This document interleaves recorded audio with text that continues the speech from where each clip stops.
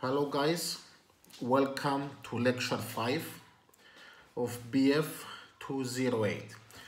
Today we're going to be talking about culture ethics and international businesses in the global economy.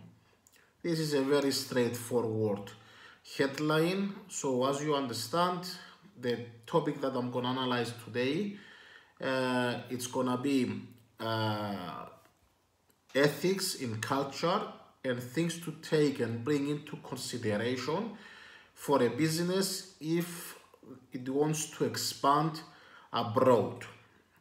Um, I've created a PowerPoint slide presentation uh, consisted of 24, 25, I think, uh, uh, PowerPoint slides. So please read it through.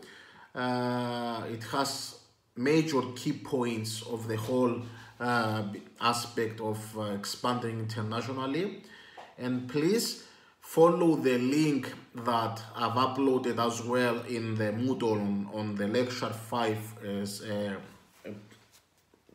lecture lecture 5 point there which is uh, under uh, the first uh, video that I've uploaded from YouTube um, see both videos okay?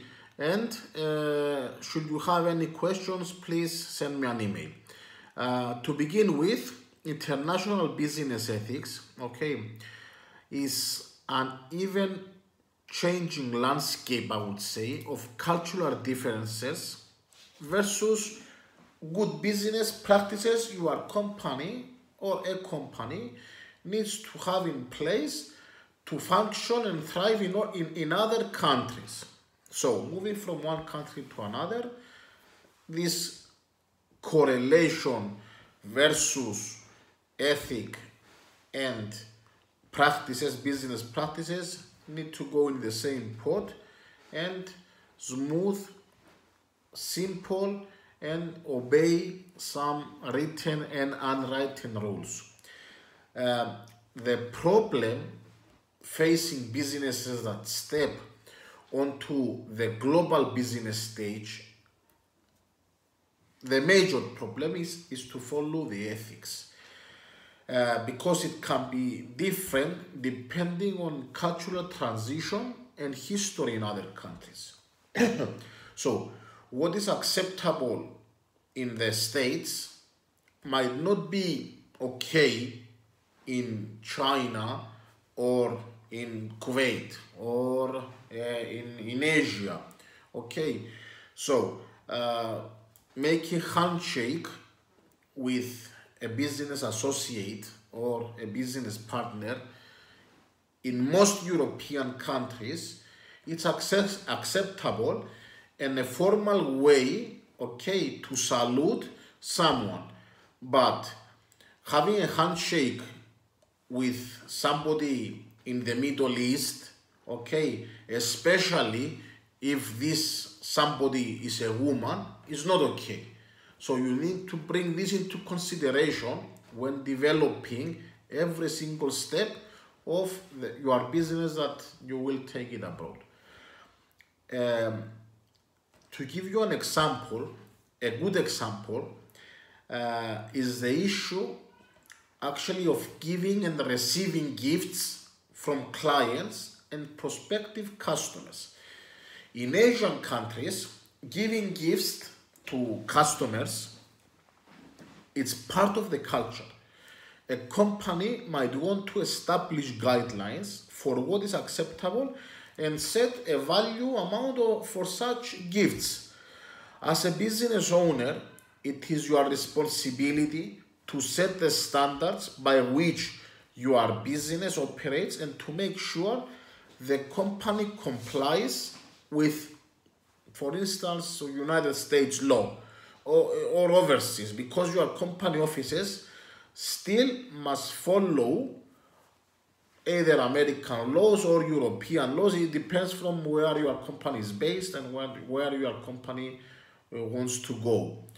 Um, to help you address, okay, differences in international business ethics, I will give you six things each business owner needs to know for going for doing business in a globally in a global country, you know, in a, or in a global economy. These six uh, points that I'm going to analyze further down to you, I consider to be the most important ones.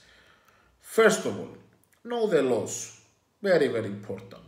The Foreign Corrupt Practices Act of 1977 banned businesses and anyone representing businesses from paying foreign governments officials, bribing and get new businesses or keep current business.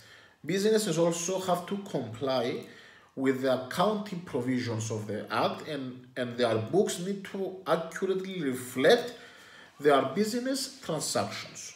Okay. Second one uh, is to follow international business guidelines. Besides the federal laws, okay, businesses can agree to follow international guide, guidelines set up by Organization for Economic Cooperation and Development, uh, a multinational think tank that addresses global business issues. The the Organization um, for Economic Cooperation, okay, the guidelines used by 42 countries suggested standards to follow, including how to handle employment concerns, okay, industrial relations, human rights, competition, environmental concerns, and information disclosure. Number three, develop a unified strategy. Unified, okay? Pay attention to the word. To best navigate the cultural difference when doing business overseas, the best practices consulting a firm recommended establishing a unified corporate strategy that can be adopted at each of your business's locations be at the company headquarters or a branch office in another country. The strategy should include a code of contact, okay, clearly detailing the company's fundamental guideline guiding principles, principles for worker contact and decisions. Uh, this is also recommended and allowing international company units to add the code of contact with local policies that reflect the region or country in which it does business. Number four, communicate clearly and understand the differences not only in house but intercultural communications that is a must if your business is going to establish a foothold in a, in a different country. Uh, the businesses that succeed uh, are the ones that embrace the culture while maintaining their unique company identity and values. Knowing the culture is essential, of course, but particularly in business negotiations, as Muhammad Ifran, an executive director of the business consulting firm, says. Uh, especially in the Middle East, as I, as I told you, in order to move a company from the States or from Europe or from Asia to Middle East, uh, this transition has the, the highest risks and the more points to bring into consideration uh, in order to secure uh, not 100% your success, but uh, at least to increase the possibility to succeed in these foreign countries uh, the maximum. Okay. Arabs in particular will use metaphors and speak in vague terms when working on deals. You understand that? It's something that you won't face it uh, in Europe or at least in a high level because Arabs, it's in their culture to use metaphors and speak in vague terms. This might lead to miscommunication or to inappropriate behaviors that you will think it is. But at the end of the day, this is the culture and this is how Arabs talk. This is not a calculated effort to irritate you, however, but rather a method of a dialogue that allows for communicating ideas without causing anyone else around the table to lose face. Okay, uh, Arabs may not ask for clarification for fear of losing face. Okay, so it's up to you to make sure every angle is covered. Nobody will sign a deal they don't fully understand. Okay, nobody. Number five, according my list, which I consider to be very, very important when broadcasting and moving businesses abroad, put the company guidelines into practice. Once your business has its values and code of conduct in place, the next step is to ensure the implementation of those policies. Each employee should learn the guidelines and understand what is expected of them and how to conduct themselves as workers for the company.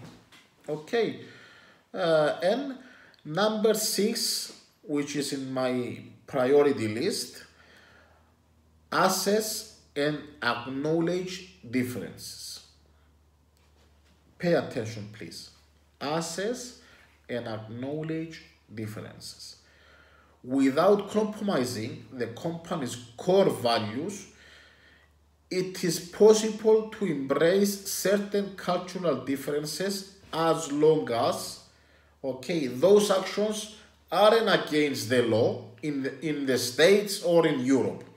In some countries, uh, bribes are allowed and are tax deductible as a business expense according to the Justice Department in some countries the states and the other countries that have signed these guidelines have pledged not give bribes. So other differences are more subtle and should be evaluated on a, on a case by case basis. Okay. Uh, to understand in general the influence of culture of business ethics, it is essential to understand the concepts and acculturation acculturation. In its most basic sense, okay, it refers to the processes by which uh, humans learn their rules, custom skills, and values to participate in a society. So, in other words, to embrace myself, no one is born with culture. No one. All humans, humans, regardless of their origin, no matter to which country they belong, okay, have to learn what is considered appropriate and especially behavior wise. So, in, in their surroundings area. Um, one of the earliest, earliest in, in, the last two years, real estate deals, deals in the world, uh, the complexity in general amplifies that the results when different cultures and experiences are ethical and codes come into contact. This is the result for making a deal. I will repeat myself different cultures, experiences, and ethical codes come into contact. So there is no need of sale remains. This difficult to tell exactly what happened when making this deal they just brought together and they combined these ethical codes and the experiences with their different cultures. So, um, there is one island in uh, in the states that it worth 24 uh, billion dollars and a Chinese and a Dutch, okay, real estate agents, I will give you this example, were about to sell it to a, a guy from China. Okay, so they were trying to cooperate and uh, evaluate all these difficulties culture wise they might have on the on the meeting so they conclude that their point of view was different and their angle that they were seeing differences in asian culture was different and to cooperate together to make the deal will had a lot of chances to collapse.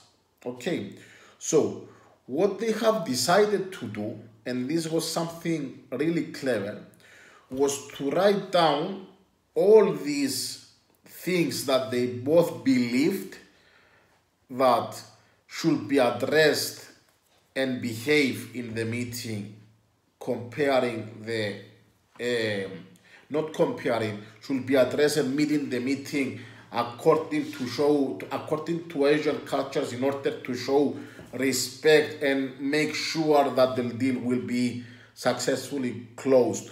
Because you understand the commission out of a sale of 24 billion so uh, the, the, the Dutch and the other guy the, the state guy they conclude to the point that they said okay we agree how to treat this guy but we disagree okay, how to behave. And because we cannot pretend that we are Asians and we follow every guideline that should be addressed into meetings between agents. So one of them stepped out, okay, he gave a full credit to the other one, the Dutch especially, and the meeting was closed because the Dutch and the American guy did not agree or they didn't have the same even body language okay so they, they thought that once is better as long as it's uh, prepared to follow some codes unwritten codes regarding uh, the asian uh, mentality so um, the growth today of global competition affects nearly every company, regardless of size. So many source suppliers for, from foreign countries and still more compete against products or services that originate abroad. International businesses remains a broad concept that they encompass the smallest companies that they may only export or import with other countries, as well as the largest global firms with integrated operations and strategic alliances uh, around the globe. I want you to understand the meaning of it and follow page 17 and 16 on the PowerPoint slides because I have an analysis there that and some links that it will redirect you to some other formats of this competitive environment and the cultural environment, the political, all this pestle that we were you should know in, in, in general about the the political and environmental and sociological and technological factors that they come into consideration of making businesses abroad. So please uh, have a look at the lecture slides. It's very important have a look at the video link that I'm showing you and I have uploaded online to see uh, a small film regarding what you need to bring into consideration when making businesses abroad. And please, should you have any questions regarding the lecture, send me an email. Allow me 24 hours to reply back to you. Uh, and if you are not happy with the answer you will get, you we can discuss it further. Thank you so much uh, for watching.